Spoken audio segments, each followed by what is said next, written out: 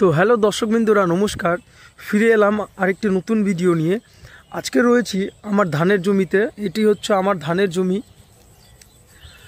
আর এই সময় আমার এই ধানে এখন শীষ বেরোচ্ছে। আমাদের এই ধানে শীষটা অনেক, ধানটা অনেক লেটে লাগানো হয়েছে, তার জন্য এই শীষটা দেরি করে বেরিয়েছে। এই সময় আমার এই ধানে কি কি কীটনাশক সার স্প্রে করা কীটনাশক স্প্রে করা হচ্ছে, সেটি এই ভিডিওর মাধ্যমে দেখব। আর আমাদের এই বাংলার কৃষক চ্যানেলটিতে যদি নতুন এসে থাকলে অবশ্যই আমাদের এই চ্যানেলটিকে সাবস্ক্রাইব করে পাশে থাকা বেল আইকনটি অল করে যাবেন। তো এই সময় কি কি কীটনাশক দেওয়া হয়েছে, কীটনাশক স্প্রে করা হয়েছে? এই যে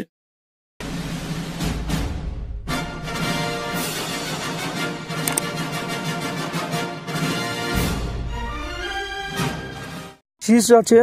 এই শীষ ভালো রাখার জন্য কি ওষুধ স্প্রে করা হয়েছে? আর এই যে পাতার মধ্যে কোনো রকম করে এরকম ছেদ না করে দেয়, কোনো পোকা আর সাদা মাছি, এগুলোর থেকে দূরে বাঁচতে হলে কী ওষুধ স্প্রে করবেন? সেটি এই ভিডিওর মাধ্যমে বলব। দেখুন, আর ধানে যেন, ধানগুলো যেন চুষি না বের হয়, একদম সলিড ধান বের হয়। এই ধানে কিন্তু মাজরা পোকা লেগেছিল। সেই মাজরা পোকা ছড়ানোর জন্য যে সব ওষুধ দিয়েছিলাম, একদম একশো পার্সেন্ট কাজ করেছেন, দেখুন। ধানে কোনো রকমভাবে কোনো পোকা নেই। কোন কোম্পানির আমি ওষুধ স্প্রে করেছিলাম এই ধান খেতে, সেটি এই ভিডিওর মাধ্যমে দেখাবো। আর ধানগুলো দেখুন, শীষগুলো।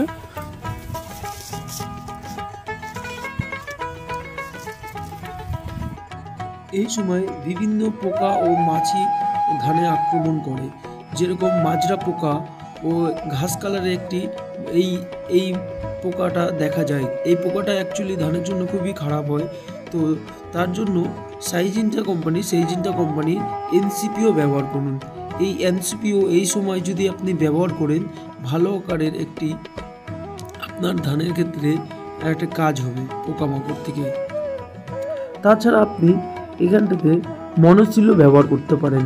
এই মনোসিলোর কিন্তু একটি ভালো কাজ করে এই পোকামাকড়ের জন্য। এবার চলে যাব আমরা গাছের পুষ্টি খাওয়ারের দিকে, যাতে গাছে আপনার ধানটা যে হবে সলিড আকারে, তার জন্য আপনি কোন কোম্পানির ওষুধটি ব্যবহার করবেন? আপনি এফকো কোম্পানির শূন্য শূন্য শূন্য শূন্য পঞ্চাশ ব্যবহার করুন। এই সময় গাছের আপনি যদি এটি ব্যবহার করুন, ধানের কিন্তু একটি ভালো আকারের ফলন আসবে আপনার ধানের। আর এটি ডোজ আপনি পনেরো পনেরো লিটার জলে চল্লিশ গ্রাম করে দিবেন। আর তার সাথে আপনাকে একটা দিতে হবে পিজিআর সেই পিজিআরটা যদি দেন, এর সাথে কিন্তু ধানে একটা দুর্দান্ত কাজ হবে। এই কোম্পানিটি হচ্ছে সাইজিনটা কোম্পানির কয়েন্টিস এই কয়েন্টিস যদি আপনি ব্যবহার করেন, আপনার ধানের, এই যে ধান দেখতে পাচ্ছেন, এই ধানের পুষ্টি হবে, আর ধানের খাদ্য সংগঠন করতে একটি ভালো কাজ করবে আর ধানের ওজনটা বাড়ানো, বাড়াবে। আপনি যদি এই সাইজিনটা কোম্পানির কয়েন্টিসটা ব্যবহার করুন, এগুলো আপনার কাজ করবে। আর এটি পনেরো লিটার জলে তিরিশ এম আপনি ব্যবহার করবেন। আর এর সাথে আপনাকে ব্রোন ব্যবহার করতে হবে। আর আপনি যদি এই ব্রোনটা ব্যবহার করেন, আপনার ধানের ওজনটা একটু বেশি হবে, আর ধানের ফলনটাও একটি ভালো আকারের আসবে। তার জন্য আপনার এই দুটি একসাথে ব্যবহার করবেন। আর এই ব্রোনটা আপনাকে পনেরো লিটার জলে তিরিশ এম ব্যবহার করবেন আপনি। আর আজকের আমার ভিডিওটি এখানেই শেষ করব। শেষ করার আগে আপনাদের কাছে অনুরোধ, আমার ভিডিওটি যদি নতুন এসে থাকলে অবশ্যই আমার এই চ্যানেলটিকে সাবস্ক্রাইব করে পাশে থাকা বেল আইকনটি অল করে যাবেন।